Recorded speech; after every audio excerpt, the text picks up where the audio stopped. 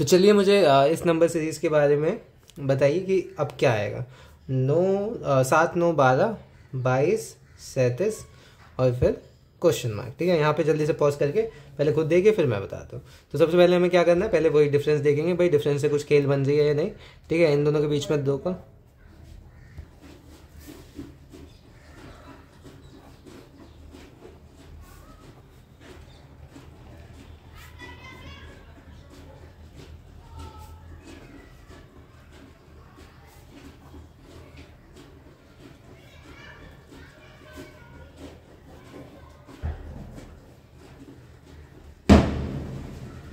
Yeah.